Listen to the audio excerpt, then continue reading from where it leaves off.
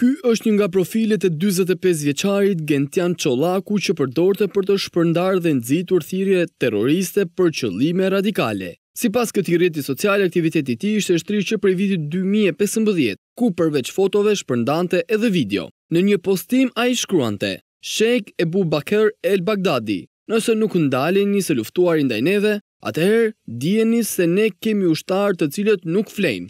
Dyzet e pesë vjeçari u vu në pranga këtë të mërkurë nga Antiterrori dhe Prokuroria e Posaçme për veprën penale Nxitje, Thirrje Publike dhe Propagandë për kryerjen e veprave me qëllime terroriste. Dyzet e pesë vjeçari, Gentian Çollaku i cili është banues në Kavajë, ka deklaruar para hetuesve se për një kohë të caktuar ka frekuentuar leksione nga elementët radikalë në Maqedoninë e Veriut. Sipas gjetjeve hetimore të spak. Çollaku kishte hapur gjashtëmbëdhjetë adresa të ndryshme në rrjetet sociale përmes së cilave propagandonte pro ekstremizmin dhe luftës së ISIS në Siri.